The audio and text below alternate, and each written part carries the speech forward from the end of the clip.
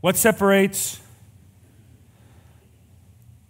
a church in which God's hand and anointing is upon and a church in which the motions are simply gone through um, repetitively and repeatedly with no sense of power attending the motions? That's the question we want to consider tonight. What's the difference between a church that's attended by the, the power of the living God and a church that's just going through the motions? And I would submit to you one of the answers is that a church that is dynamic and growing and advancing the mission of God is led by, and I'm going to say this as a phrase, and it might sound familiar, but it's very specific from our text spirit filled men who have been set apart and called of God for the work of ministry. And we're going to see in our text tonight that that's exactly what is happening. And so, what I want to do is, I want to use this text tonight as a bit of a case study for how God has always worked in the church and how He continues to work today. Because I want us, I want, we've called this series How to Be a Jesus Filled Church. And part of the intention and hope is to kind of pull back the curtain behind how we do church so that the collective IQ, the, the collective ecclesiological IQ of our church could rise in how we think about church and how we live into our identity as the church so that, that there can be just a growing sense of, of hunger uh, as a church for the things of God and to become a kind of church that Jesus uses and moves through and works in for the glory of God. Because what's tempting to think is, is um, well, let me put it this way. If you're new and sitting here, what church is not is a, is a weekly event, a weekly ticketed event where people come to watch a band and a guy perform. That's not what this is. This is the family of God that requires leadership like any family does for it to be cohesive and for it to have order and direction. But this is the family of God where we come and we come to mutually edify uh, each other with faith and encouragement. We come to love and where we come to collectively turn each other's attention to Jesus because you and I are prone to um, lose sight of him regularly. We have, we have day-to-day distractions and we have hurt and pain and we have, we have busy lives and things going on. And, and one of the things that gathering as a church accomplishes is collectively turning our hearts and the attention of our heart to Jesus. And that requires leadership, and that requires structure uh, and organization and order. Now, uh, what I'm going to say tonight, you might tend to think, well, how does this really apply to me? Or I don't plan on going into full time ministry. Here's why I want you to care about it. I want you to care about it because whether you stay at Grace Church or God moves you somewhere else in the valley or somewhere else in the world, I want you to be an educated, well informed, biblical Christian who discerns um, where the move of God is working in a church so you can join Him there and participate in it.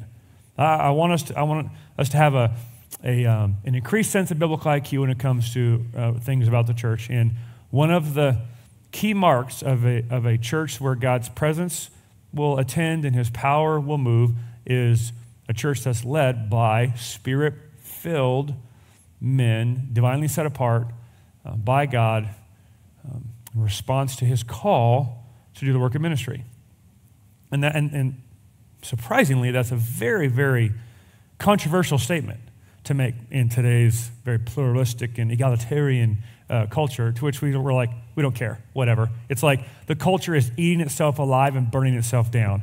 Why would we want to do anything that the culture would agree with? you know what I mean? Not that we're anti culture, but like, who, as you look out, you're like, who wants to be part of that circus sideshow? You know what I mean?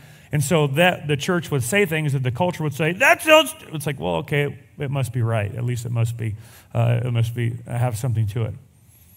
Uh, what I'm going to say as well comes from years of experience it, it, it, that uh, the Lord has given me that's consistent with, I believe, my calling and, and my uh, gifting, uh, and then the experiences that God's given me, the things I've been able to observe. I've been able to sit in the front row and watch, very, very, in very close and personal ways, God move and call specifically men to lead the church. it's, a, it's, it's, it's holy ground to watch that process uh, take place to be a part of that process. and to call that process out of men for the sake of Jesus and their families and, and the church. I've also been a part of, of movements, large organizations, and, and churches that don't understand this. And I'll tell you, it has consequences. Because simply appearing to play church is very different than experiencing the anointing of God on a church that's on mission. And, and, and, we take very, very seriously the anointing of God. We take very, very seriously the, the approval of God. None of the men here at Grace City Church in leadership in, in the, uh, on the elder team, none of the men here uh, and women serving on our pastoral team and serving in Door none of us here, like I say this for all of us, none of us have any interest in being a part of something and attempting to accomplish things that, that we, we're pretty confident we could do if you give us enough time and our own strength all of us are united in our heart that we want to tackle obstacles and climb hills and attack strongholds of the enemy that um, only have a prayer of success if the mighty arm of God shows up to save. Full stop. And if the things we're calling you to do as a church and the way in which we're calling all of us to live as a church, if those things could be explained or done in man's strength, it's probably not faithful to the actual genuine call of God and assignment He would send us on as a church. Because all throughout Acts, what we see God doing by His Spirit is calling the church to accomplish things they had no business thinking they could do unless God showed up in a supernatural way and did something um, extraordinary. So I return to my question um, what sets apart the church that's attended by God's power? I think the answer is a church that's led by spirit filled men, divinely called of God, to lead the church. And I get this from Acts 13, so let's read these. Uh, just the, we're just going to read three verses uh, and, and then look at how it applies to our church. Number, verse number one. Now, in the church of Antioch, there were prophets and teachers. Stop there. We know Antioch was, was a, a, a big town with a church that was vibrant and growing. People were getting saved and baptized, filled with the Spirit and sent out on mission, and there there were prophets and teachers. What's the difference? Prophets are, are those who have that, that when they deliver the word of truth, it has a razor edge that cuts to the bone. Teachers are those that explain and unpack uh, the word of God in, in, ways that make sense to kind of to, to kind of build up the body of Christ. So prophets are, are cutting through all the noise of the darkness and the culture and the lies, and then teachers are, those, are explaining the truth of God in a way that, that builds up the body of Christ and strengthens the church. There were prophets and teachers Barnabas, Simeon, called Niger, Lucius of Cyrene, um, Manaen, who had been brought up from up with Herod the Tetrarch, he was like one of his good friends, and Saul. Verse 2 While they were worshiping the Lord and fasting, the Holy Spirit said, Set apart for me Barnabas and Saul for the work to which I have called them. Such a loaded sentence. One of the problems with the American church, and again, this isn't meant to be critical, and, and, and I don't like lobbing shots at folks because we got our own enough warts to keep us busy working and growing in, in, our own life. But one of, one of the problems with the lack of power in the American church is it's being led by professional men trained in institutions rather than being led by spirit filled men called of God and divinely set apart for his work. To the point where I have met with pastors of churches in this town and around our area who I'm not, not, not only am, am I questioning whether or not they're saved, they're openly confessing like they're not saved. Like, like they're, it's, they're in it as a profession, they're in it um, as a career path. They're not in it because they were divinely called by God and filled with His Spirit for mission. Now, you may think that sounds weird. It is everywhere. It is everywhere. And when I talk about calling, and we'll get into it here in a moment, I mean a man who has such a burning sense of clarity and vision in his heart that to not follow it would be tantamount for him to sin. And that is not the prevalent scenario for most men leading the church today. It's a job, it's a career path, and I'm ashamed to say it, but it's a comfortable indoor job. That if they just kind of keep their head down and get by on Sundays, uh, they can mail it in. And it's a, it's a damning statement on um, the state of pulpits and churches in America. And I'm not saying that's across the board. There are hundreds of thousands of, uh, potentially millions of very, very, very godly, godly called men. And there are entire denominations full of men that do not qualify for ministry according to this text. While they were worshiping the Lord and fasting, I, I just want to acknowledge there, got quiet here all of a sudden. Is this more serious? I'm not meaning this to be too serious, but we're like, oh, okay, here we go. I can smile. I'm happy. I'm not angry. this, it says they were worshiping and fasting. We know that God was working the church of Antioch in a, in, in a wonderful way. And yet they're still worshiping and fasting. Don't presume and assume on the presence and blessing of God. Pursue it. Right? Don't, don't assume, oh, well, God's got his hand on us. We'll sit back and just kind of watch him go. Never presume on the hand of God. Pursue the presence of God. That's why I regularly gather and we pray not, in this way that we're going to like conjure up the, the, the God's Spirit because we earned it, but because we genu- genuinely desire it. So they're, they're fasting and praying. The Lord, through the Holy Spirit, set apart for me Barnabas and Saul for the work which I've called them. So after they had fasted and prayed, they placed their hands on them and sent them off. So they're, they're praying and, and worshiping and seeking God. God speaks to them with direction and relationship to two men among them that are, to be set apart and sent out, they fast and pray afterwards, in which I believe they're confirming that word, and then they, they, they lay hands on them to commission them and they send them out. So the question is with those three verses, what can we learn about the Holy Spirit and calling? Well, I'm just going to riff through these quickly, and you're like, how does this affect me? It affects you because I want you to, to participate in this kind of church and pray for this kind of church, and maybe there's someone here who what I'm going to talk about tonight is becoming true of you. Even going this way of their career path, and God, God's going to interrupt that and call you into full time ministry. Because as Grace City Church goes, we're 15 years in, which in, in the life cycle of a church is very, very, very young. And as we've been planting this church and establishing this work, one of the things we're going to move into in the seasons to come is we're going to be even more intentionally. We've always been ascending church, but there's going to come a season and time when our children who've been raised in this church and have the ethos of this church in their bones are going to be of the age where they're, they're going to be sent out. Like, for instance, um, the elders and executive leaders team of this church uh, uh, uh, Adam James, uh, Kent McMullen, um, Kyle Strong, Josh McPherson we all have boys. And Kyle McMullen is, has already followed his father in full time ministry. And God is putting that kind of desire on Ben and Maddock and Levi. And we're not going to poo poo it. I had a conversation with pastors this week. And, and, and the conversation went like this Hey, I got a brother who God's calling to ministry, but as a policy, I don't hire relatives. And so if you, any of you need him, I'd love to send him your way. And I was like, Well, now I got to say something. So I jump on there. I was, I was like, Hey, talking for a friend here,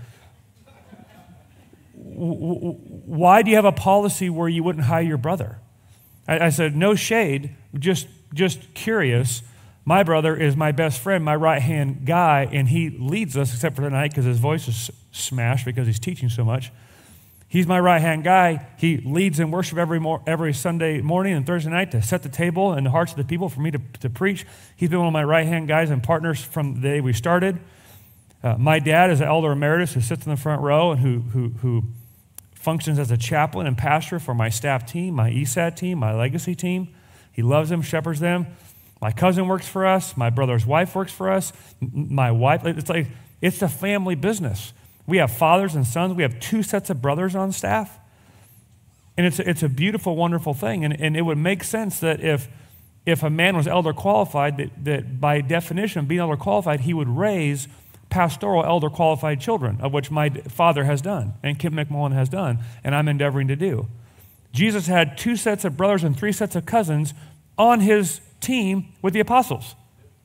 And we're not going to hire family because it's a policy? Like, like, like, okay, nepotism maybe is a thing, you know, a construct of our psychological age. But folks, if we can't do ministry as a family, then we shouldn't be doing ministry. Okay? And so uh, we, we glory in the fact that we have multiple, almost every Sunday, there is some sort of family connection on stage. Jacob playing the bass here, that was his son playing the drums. Because there's a father discipling his son eh, with a heart to be a worship leader. I love that. I would never want to say, well, Jacob can't, be up here because, you know, we don't do ministry as families together. What? Well, to HR policy, my gosh, I get HR, but if you don't even get me started on HR, HR, wow. Human resources, the Greek word for demons. I mean, it's just crazy. You try to follow the HR laws in Washington, you're going to go insane, right? That's another story. What was my point? My point is, I can't remember. So let's keep going. Number one, the Holy Spirit speaks to us in community. And here's what I mean by that nothing more than this. Can God speak to you on your, on your own? Absolutely. On a mountain, uh, by a lake, on a walk, 100%. And God oftentimes speaks to us when we're in community. And when I say in community, I, I mean like we're in here. We're, we're, we're, gathered in a city group. We're gathered to worship. We're, we're praising his name. We're worshiping together. We're in his presence. Th- those are contexts in which God loves to speak to his church. Not only does the Holy Spirit speak to us in community, the Holy Spirit speaks to us through community. We're here in this text, and it says that the Holy Spirit said, Set apart for me Barnabas and Saul for the work to which I have called them. How did they discern that was what God was saying? I don't know. It doesn't tell us. But I'm guessing they, they had to kind of talk it out. Hey, did you hear that? Did I hear that? Like, are, would you confirm that? I mean, like, they're discerning the voice of God through community. And if you disconnect yourself from community and then claim to have heard from God, I think personally you're on thin ice. God's, God's voice is always, always, always confirmed through community. So if you're here and, and you say, well, God, God spoke to me such and such, but no one in your Christian community affirms it, and I don't mean like just any Christians. I mean, like godly, wise, mature Christians. If no one affirms and confirms that, you should question if you heard from God. So while it isn't detailed here how they discerned the voice of God, it is clear that they discerned it together through community. So Holy Spirit speaks to us in community, it speaks to us through community. Oftentimes, I've experienced the voice of God through the community I live in with, with my wife and our family and um, the elders uh, you've, you've, heard, you've, heard, you've heard the story of when we were in the COVID lockdowns and we were like, this is crazy, and we couldn't gather because they shut down our construction, they closed the PAC, they wouldn't let us in school. So we had a thousand folks with no place to go, trying to figure out how in the world do we do, we do this. And we're sitting at our dining room table, and in the community of my family, my children very innocently and very purely, and I believe my kids are filled with the Spirit of God, they said, Dad, is it true that you can still get abortions? That abortion clinics are still open? I said, Yes. Dad, is it true that you can still go down to the alcohol store and, and buy alcohol to drown your problems in, in booze? I said, Yes. Is it true that, that every other well intended small business in town that's not the abortion clinic and the alcohol store has been closed by the government?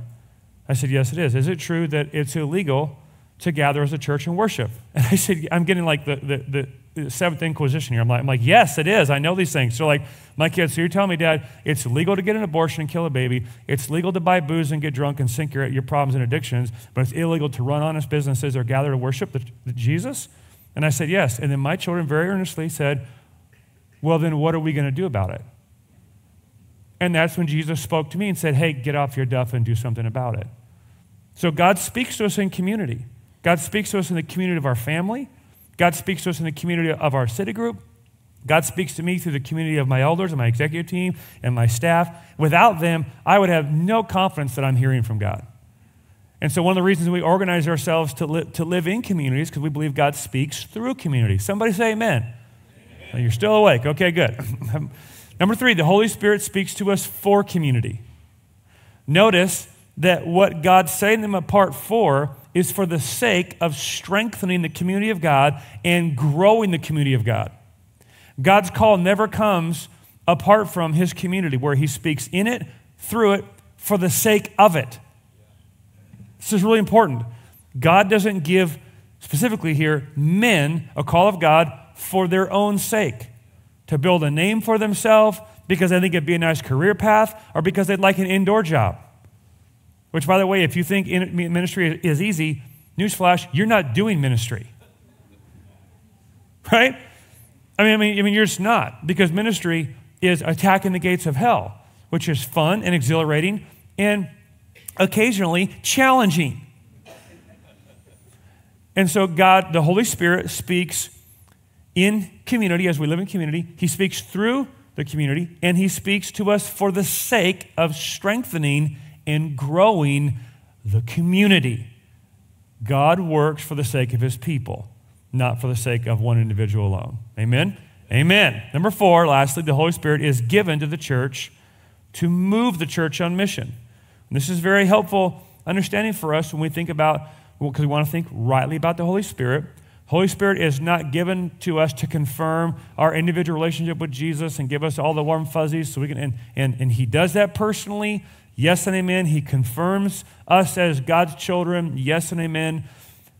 And the Holy Spirit is given to the church to always be moving the church towards mission, towards the lost.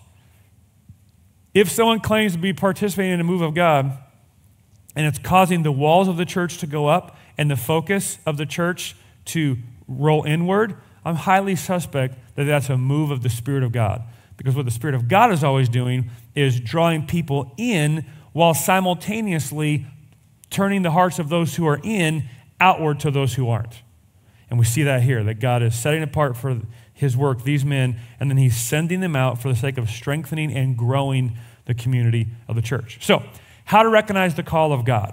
This is for you personally or for us corporately as we endeavor to put ourselves under godly men and then follow godly leadership. Number one, and, and I'm, I'm, I'm, taking this from the text and from 20 plus years of experience of being around men who are called, men who aren't called, following leadership that has been anointed by God, following leadership that has, quite frankly, not been anointed by God.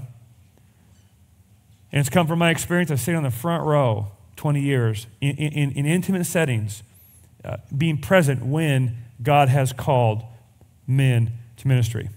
So, number one, Wow, that's small. Here we go. Is it bigger up there? A little bigger up there.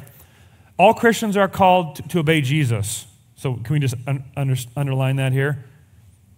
But some are set apart for a special kind of focused ministry. So, we look at the text. The, the church is there worshiping, just like we're doing. There's a collective sense of unity and joy. And then God comes down to the Holy Spirit and says, I want you to set apart these two men. How does he say it? For the work to which I have called them. Meaning, all of us are called to follow Jesus and obey him, yes, and God sets some men aside for a kind of focused ministry. So I, I, I don't want to downplay um, the, the, the priesthood of all believers, that we're, in one sense, we're all called to be ministers of the gospel in our neighborhoods and in our families and in our workplaces. We go filled with the Spirit, we go commissioned by Jesus to share the good news. And there is a unique kind of um, calling to ministry that God places on some men's life that is unique, that, that is different and set apart from the corporate calling he gives us as Christians. Secondly, understand the calling of God. The calling of God is orchestrated by circumstances that demonstrate a divine selection of God. Okay? I mean, no one's questioning here that, like, okay, the Holy Spirit is, is orchestrating this moment. We gathered, we're worshiping. He sovereignly picked out Barnabas and Saul, who would become Paul, among, I'm guessing, a, a, a, large room full of competent, capable people. And God, in His sovereign design, said, Him and Him I'm setting apart. And the call of God will always be accompanied by a set of circumstances that demonstrate a divine selection of God. And I wish I had time to tell stories. I'm going to tell one tonight, but I could tell dozens and dozens that I have got to witness firsthand where God is just moving the pieces on the board so divinely that no person could claim credit for it. No person could say, we orchestrated that. It's simply the divine orchestration of God to move circumstances to be in such a way that all who observe it go, that's the hand of God. I've experienced that this very week. And so has Adam. And, and we have things we're going to share with you soon, but not tonight. Oh, oh you excited, bro? Where's Kent? Um, well, we, we got we got we got to let it bake a little bit. We got to let it bake. Be cool, play cool. But you won't be here this fall. That's all I'm going to say you want to be here this fall, September for our Be Fruitful campaign. But but we have witnessed personally this week and last week, and I mean we've over and over and over again at Grace City Church, the divine orchestration of circumstances that no one man could coordinate, that, that puts the stamp of authenticity on it, on a man, on his family, that that is that is. Um, inarguable. God says, That's my man for the job. And if, there, if that is not accompanying a man's assignment to ministry, he, he should, he should question whether he should do it. I, I, had the great privilege of being at a seminary for a while, and, and most people who are astute, who have been in seminaries, are also gently and graciously critical of the seminaries in that they were started with a wonderful intention to train up and equip um, men for the work of ministry, and those institutions drifted from being uh, um, connected to the church in which they were serving, and they eventually became uh, isolated, individually siloed institutions, raising up professional institutional men rather than equipping spirit filled called men. That's very different. And so I, I, I, was, I was in classes in seminary with men who thought it would be fun to go into ministry and, and got tired of working outside because it rained a lot in Portland. And, and I've always loved the Bible, so let's go to ministry, let's go into seminary. And so they were having their way paid for by someone, and then just hoping to maybe get a job somewhere at a small Baptist church where the denomination would assign them. And I listened to them. There was, there was no burning heart. There was no specificity of calling towards a people or a work. They were just, they were just submitting their resume for a job. And it did something deep inside me. What it did was it caused me to say, never on my watch will we peruse resumes to see who has the uh, strongest high marks to come take a job at Grace City Church. We will pursue the heart of God. We will respond in obedience to follow the call of God. And then, as God brings opportunities and as challenges arise and needs grow, we will look up and see who God has brought around, and we will test the calling in their life, and we'll invite them into the work. And to this day, we have almost 30 people on staff, uh, 10, 15 of those uh, called men to pastor the church of God, and never once have I looked at a resume. Not once.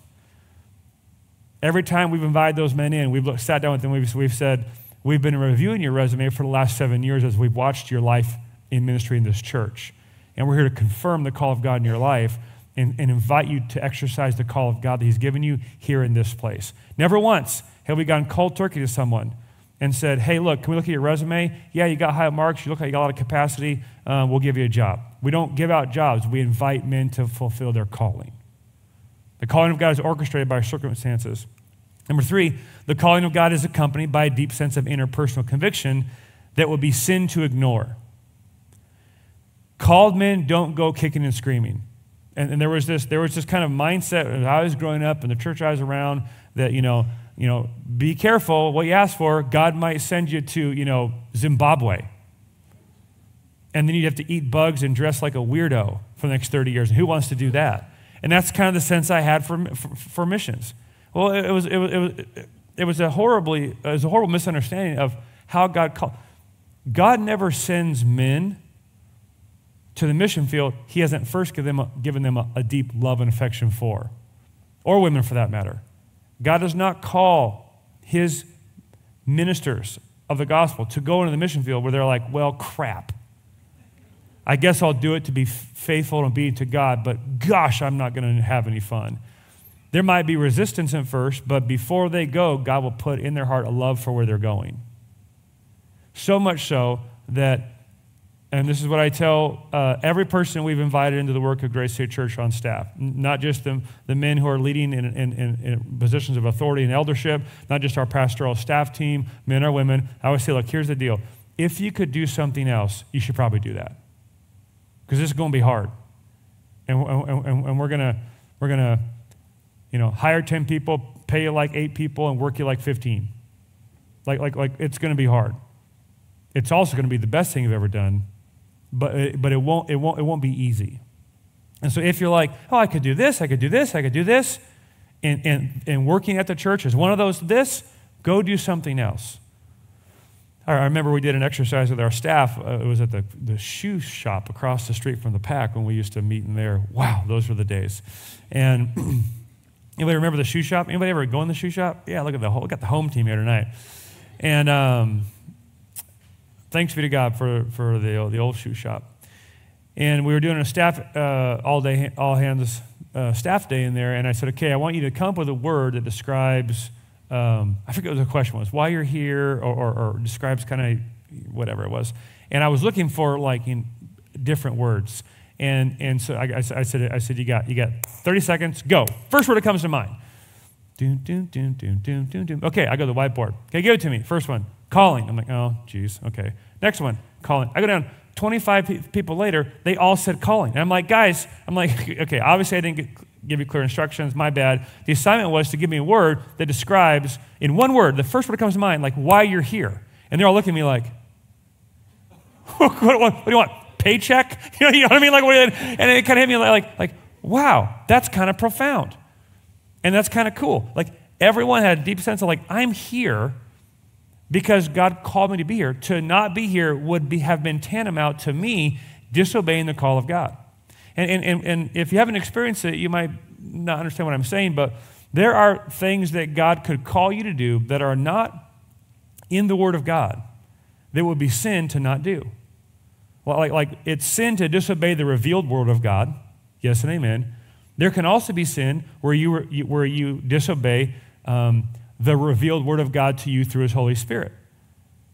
Where either because of fear or anxiety um, or whatever kind of cloudiness in your heart where you just you say no to the call of God, you grieve the Spirit of God, that's calling. Where you're just like, I can't not do this. If I if I didn't do this, I just I would explode. There's that deep sense of inner conviction that would be sin to ignore. That that that lets you know that what you're dealing with is calling. Number four, the calling of God aligns with, the, with the competency of a man's skill set. God will never call a man to do something that he has not been previously equipped for or currently equipped for. And I know the whole saying, God doesn't call the equipped, he equips the called. That's cute, and that's great, and I kind of get it. And I have never seen a situation where God calls a man to do something that is so wildly outside his personality, his gifting, his skill set, that would make it, it just makes no sense. I never see that. What I always see is God bringing men and taking their previous um, giftings, experiences, uh, um, um skill sets, and then realigning it so that it aligns with the work of God that they might not have previously seen, but it makes sense when they see it.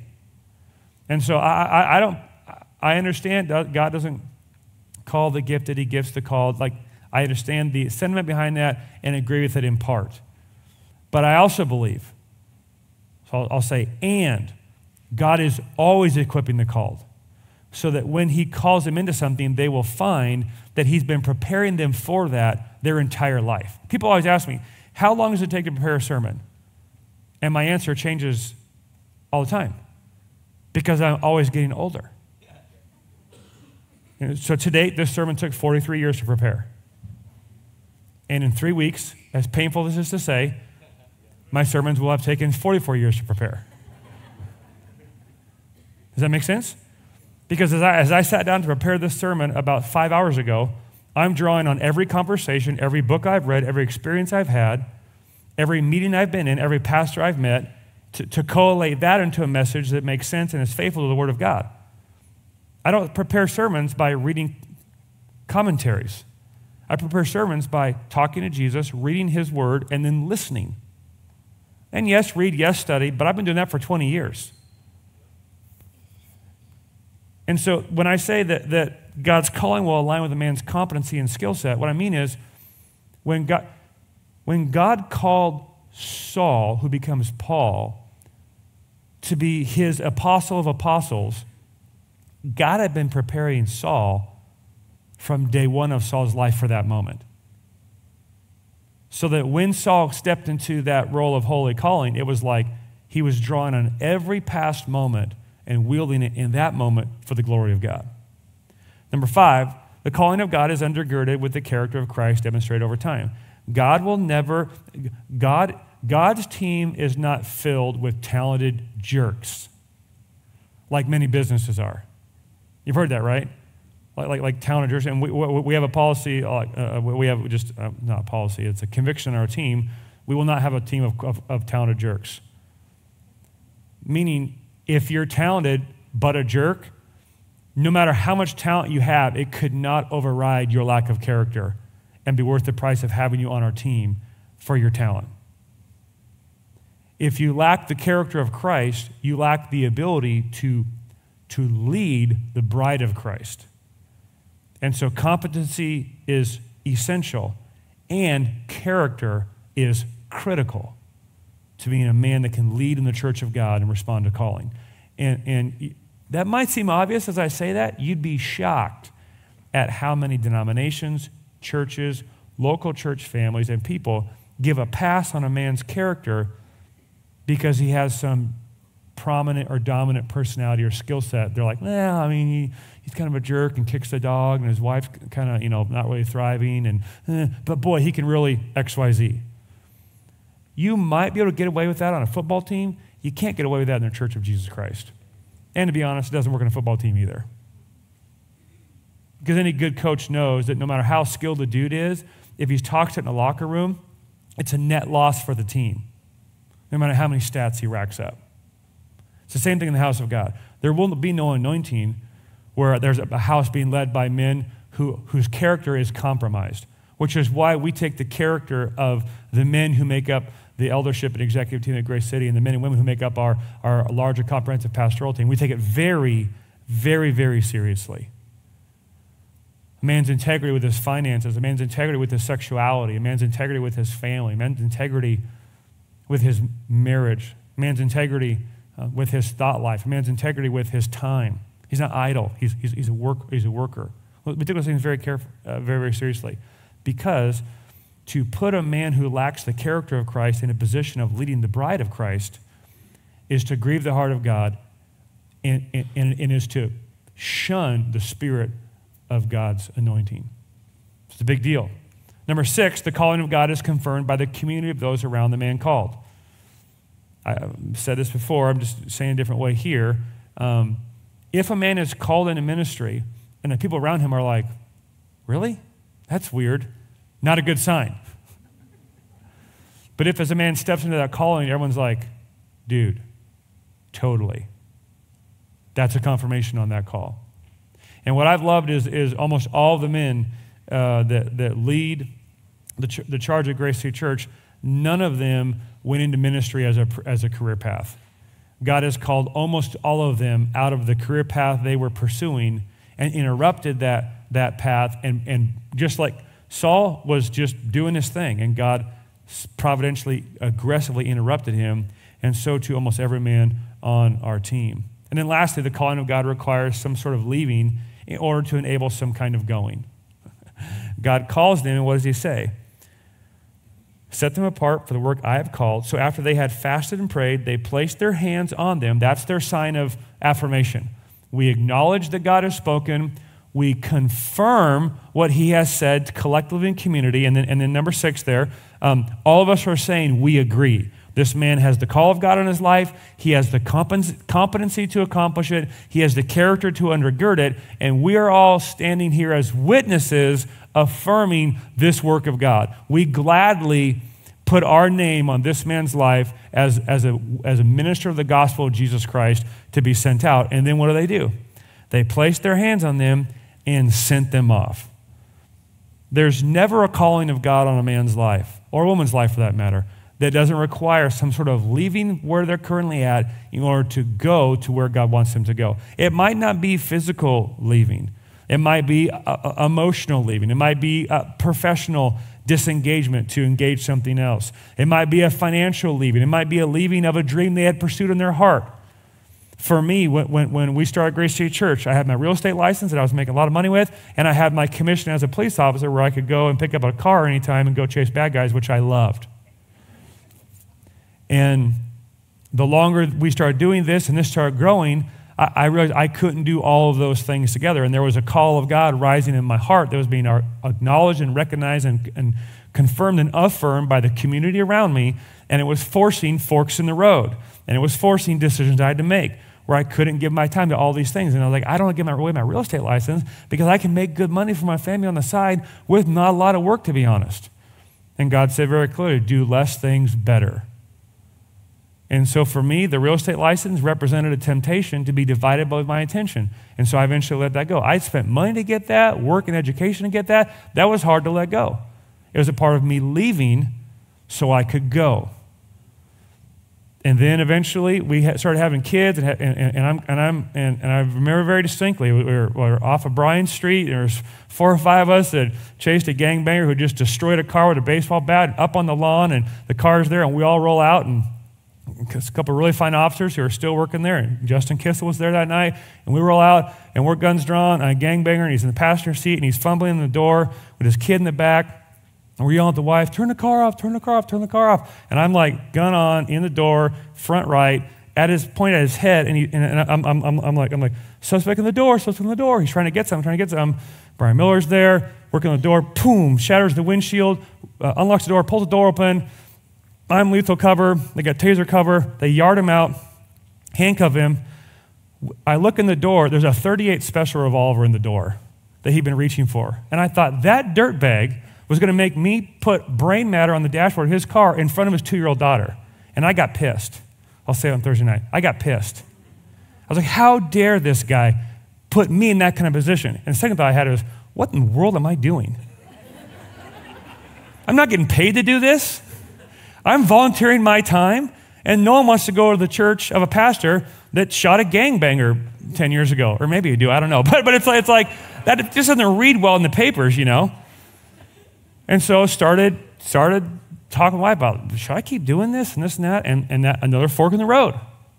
Another fork in the road. Where, where, where my heart was divided. I loved doing that stuff with the guys on the range and the SWAT team and the kick in the door. I, I love adrenaline. It was fun. And God's like, you can't ride two horses. And so I, I we made a decision to, to leave that lifestyle, you going to call it, to leave that there, turn my badge in, my vest, that was a, that was a, that was a rough day, but a clarifying day. It was rough in that like there was uh, grieving and mourning. I mean, the academy, it's work, night classes. That, that took a lot of work to get there. A lot of fun memories and times. And there's a and what God's calling me to is bigger and weightier and deserves the full attention of my mind and heart. So the call of God will always require you to leave something in order to go to something. Okay? Now, I said all that, a story of calling. And this is what I this is where I was going tonight. In that God is, is adding to our ranks, and we're very excited to share that tonight. And if you've never been a part of, of, of this, we like to just lay our hands on a new pastor at Grace City and commission him and his bride into the work of serving Jesus at Grace City, like we're doing tonight. So, uh, if, if you don't know, um, our, uh, we have a very uh, uh active church family. And by active church family, I mean lots of babies being born. So thanks be to God for the act of marriage, and we're practicing it regularly, and that is resulting in poof, kids growing. And so uh, our nursery is busting at the seams, and our kids' spaces, I mean, we, it, it, it's kind of crazy town down there. And our Grace Kids has been led by two, three, four kind of part time moms, and they're rock stars Brittany Stumets and Curry Apple and um, uh, Becky Binger and Jillian Hurst, and then all of their helpers and mentors, all of whom are amazing. Uh, but they're doing it in the margins of their life, and it, that, that can be very challenging and difficult.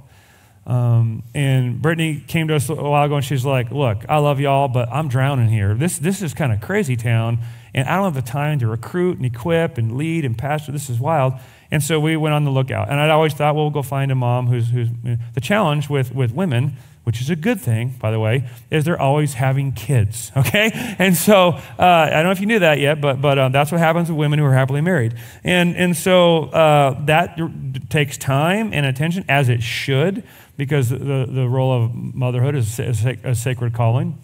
And so uh, I, I, was down visiting um, Buddy Driscoll at his church, and he had recently hired a dude pastor for their kids right here. And he stood up his brother actually goes to Grace City, and he's like, Hey, I'm new on staff here. And I was like, oh my gosh, why haven't I thought of that? We need a dude pastor to lead our kids' ministry. That would make so much sense with ethos who we are. Like, wow, I am slow, slow to the party here. Came back, talked with our girls. What if we hired a full time pastor to oversee all of Grace Kids? And they were like, Thank you, you moron. How long did it take you to figure that one out? You know, so they didn't quite say it like that. They're more gracious and godly than that. But that was kind of the undertone. You know what I mean? Like, like yeah, hello, we're drowning here.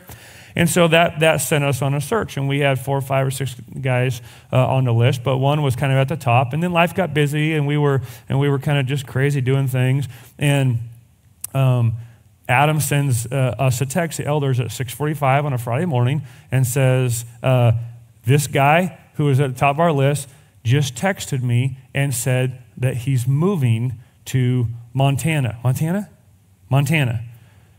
And, and, and, you ever have one of those like like nothing like starting a Friday morning with like oh crap moment, you know, like like what? I sit up in bed, Sharon's like what? And I'm like so and so is leaving. She's like who cares? Rolls back over. I'm like but you don't understand. And uh, and so um, Adam said he's coming to meet me here at seven. What's the play? And I'm like, uh, 134 texts ensued between myself, Adam, and Kyle in the next 15 minutes my phone starts smoking, you know what I mean? And we're like, we're like, okay, you take the high hill. Okay, windows elevation. We got to take this guy out. You know, so we're like trying to figure out. So I'm like, I'm like, Kyle, put me together an offer. Are we sure? Are we sure? Are we sure? You know, we're talking like, yeah, yeah. So I'm like, you know, putting my pants on like this, you know, and and um, and we go running down there to the um, the uh, just the first class offices I built for my elder team out there uh, out in the back parking lot. The job trailer's there, and um, and this guy's in there, and, and we walk in, and he's like, hey, and it's me and Kyle and and, and Adam.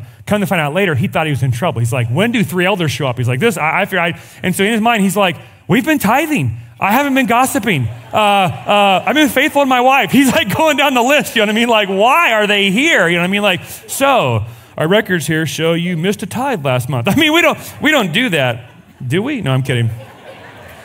And so we sit down, and so they're talking, they're talking. And so uh, I said, Hey, I, I, said, so tell us what's going on. So, well, he said, um, he said, as you know, I, I, lost my job with the COVID vaccine mandates, refused to kind of cower to the, to the, the, um, the governor's you know, tyrannical uh, uh, mandates. And so I lost my job at a, at a, job he loved and I believe was called to do and equipped to do and was doing wonderful ministry there.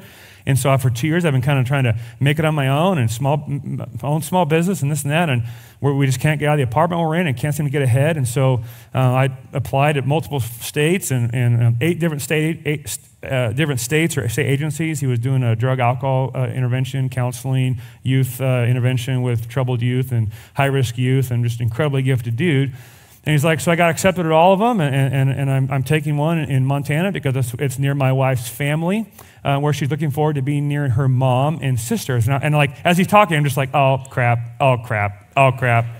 It's never going to happen. You know what I mean? Like, like a good paying job in Montana where they're still free, and you know, and her family's there, and there's no way I'll, I'll be able to talk his wife out of going home to be with grandpa and grandma. Well, now they got young kids, so it, the dream's dying, right? So he's talking, and I'm like, I'm like, well, super cool.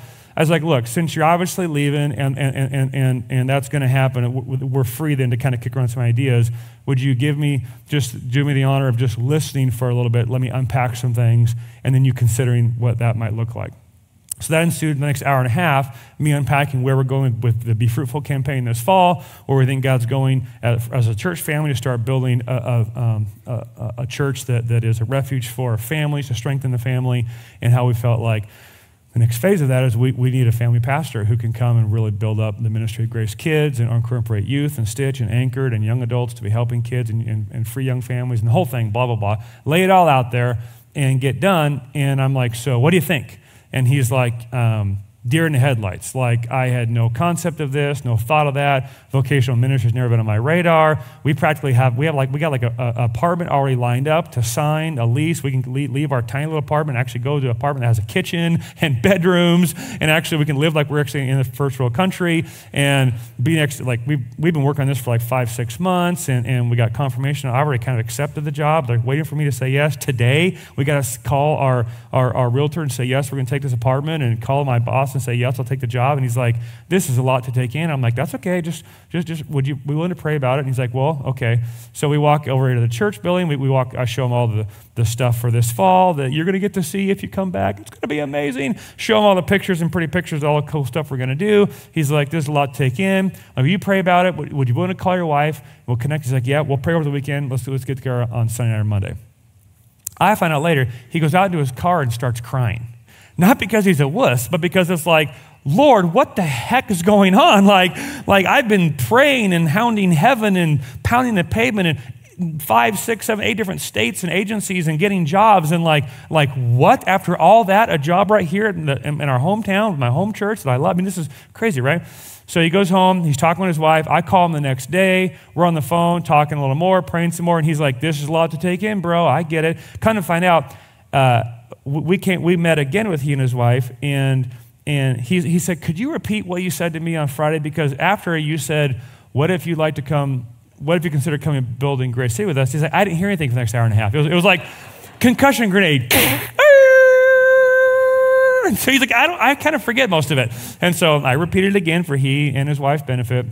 And, and they began praying. And I'm really condensing a long story here uh, into a short amount of time. But he got out here because he was on the end of the country, and God was like, You need to go this way. Got in a car, drove out, ran out of land when he hit Tacoma and Tacoma's port, stopped there, got into local church, shifted to another local church because he was pursuing community. One of them, the men there discipled him in that wonderful church, got him in community. That led him to eventually getting into Wenatchee. I mean, and the strings of God's providence, those circumstances I was talking about, are just so finely woven into this man and his wife's story. Met his wife here. First Sunday he showed up, got invited into a community group, met his wife in a, community group, got married by Pastor Adam, discipled by the folks at Grace Church. A man I had just met in Arizona two weeks prior that we're going to bring up for the man conference as a dear friend of, of, of my buddy uh, Mark Driscoll discipled him this guy I'm talking about like 15 years earlier when he, I mean, it was just like, what? Just crazy, crazy, crazy connections. So we get together with he uh, and his wife, I think it was the Monday night uh, after that. And we get together with them, and they're talking and processing. Um, they put the job on hold. They put they've put uh, the the house on hold, and she's asking questions. And I'm watching this wife who had the prospect of moving home to be with her family and around her parents for her young children that, that are that are growing up. Her husband to get a full time job with benefits so they can actually buy a house and, and establish their family. All that's just disintegrating. And I watched that this wife process it, ask questions, and then turn, and in her husband's confusion and weakness, speak confirmation and life into his life. And so that she was there actually uh, arguing for our case. And I was like, go, sister. I mean, like, like, let's go. And she's like, God's gifted you, God's called you. I've, I've been telling you this for years. These men are seeing in you what I've always known is there. And I confirm this, and no matter what decision you make, and I'm going to support you in that, what I want to make sure is you hear what they're saying because it's, all true of you. You have, a, you, have a, you have the heart of God for the people around you. You're called to be in ministry. God's Spirit is upon you. You're anointed for it. You're gifted for it. You have the character for it. And I just want to make sure you're hearing what they're saying. Here's where they're just like weeping. And it's just this, the, holy moments. Holy moments where you're watching the helper, like the Spirit of God, breathe confidence and life into her, into her man. So they go out, and I said, Well, call us tomorrow. So he calls me next morning and he says, he says, you know, you laid out the whole vision where you're going, and, um, and he, he, said, he said, but here's the thing, Montana's a big deal. My wife's family's a big deal. And I'm like, oh, here it goes. I'm going to get turned down, you know, go to the prom. It's so frustrating. It's like, oh, and he's telling me how Montana's so amazing and her family is going to be awesome and grandparents are a big deal. And we're talking about legacy of family, which is why they're wanting to move to Montana and all this kind of stuff. And then, and then he told a story about a youth he'd been working with and that youth uh, had been struggling with uh, depression and all sorts of stuff. And he finally got into a place of, of, of, uh, of confidence and strength. And then the, the youth went back into the, the, the, government school system and had horrible things said to them from teachers and, and, and, and counselors in positions of authority and just kind of sent him back into a tailspin. And he's like, the need in this town to strengthen the hand of families is bigger than ever before. And as, as for our household, we want to be a part of the work that God's doing, that we believe God's doing in Grace City Church to strengthen the hands of the families. So, he said, uh, the Heine family is in. And I'm in my, um, well, I'm going to be honest here. I'm in my underwear in my kitchen on a Saturday morning because that's how we roll around our house. And I'm like, whoa! I'm like, yeah, are you kidding me? You better not be joking, man. You better not put me on. Are you kidding me? Yeah, are you kidding me? It's great. He's crying. I'm crying. This is, I know this is so wild, man. Can you believe it? We get together later that day with he and his bride and the elders. I haven't told the elders. He does the same fake thing about Montana's amazing and her family's amazing. They're like, oh, crap, crap, crap. So we're staying. Whoa! And as we're talking, here's what he says. Um, um, uh, he, he, he says, oh, honey, tell him what your mom said. Like it was kind of like, like a, they had forgotten about it. And she says, oh, yeah, kind of funny. We, we called my, our parents to tell them last night or that morning, whatever it was, they, they moved quick that we're not coming to Montana because God's called us to participate in the work He's doing at Grace City Church. And we thought they'd be angry or sad or crying. We weren't sure. We were like, oh, let them down. Like we're like their grandkids are coming home and now they're going to stay in Washington. She said, it's funny. She said, I, we, I get done telling them this, and my mom and my mom says, well, sweetheart, like that's a, you know, I feel bad. I, we should be crying right now, and I don't want you to think we don't love you, but honey, we just got to tell you, your dad and I this is wild. Your dad and I haven't had a peace about you moving home since you told us, and it's been weird. And her dad goes, Yeah, babe. He goes, I, I mean, we love you. We, we love you. You're our girl, and we love our grandkids, and we love nothing more. He's like, But we have not had a peace about you coming since you told us. And we didn't know why. And we thought that was weird. We thought we were bad parents, so we weren't saying anything. But as you've unpacked what God's doing, we now realize God kept us from having a peace because He wanted us to confirm His call in your life. We're so excited you're staying at Grace City Church. Isn't that crazy? Isn't that crazy?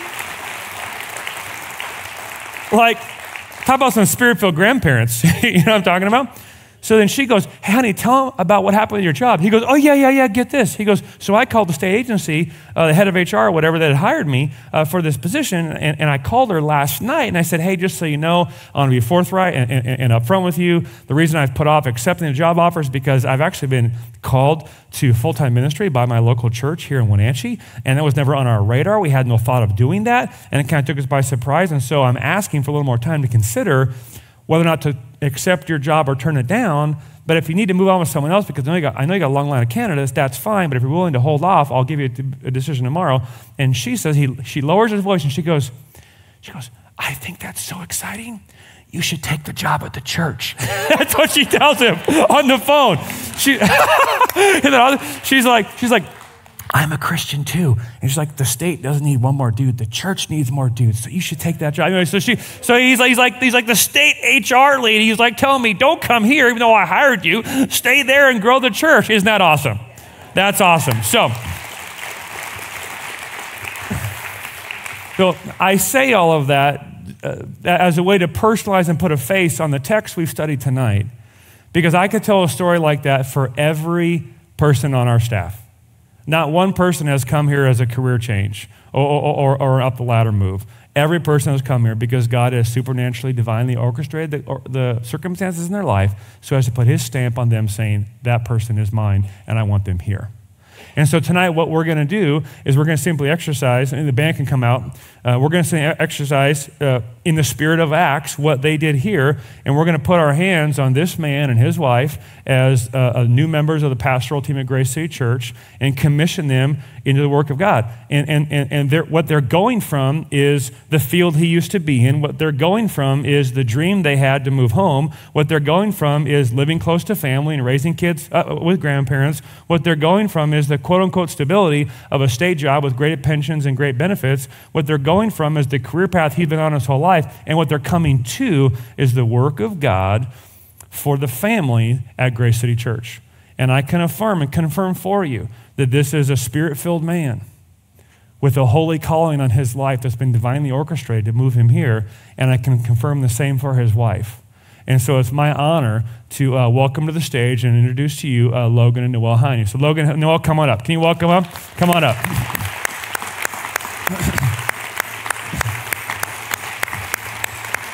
And uh, I, I want to uh, invite us to stand. And if you're on the pastoral team here, you, come on up, guys. So uh, Kyle and Brian and Kent and Adam over there, I see over there. And let's see, Carrie's over here in the keyboard. Come on up. We'll just come around these guys here.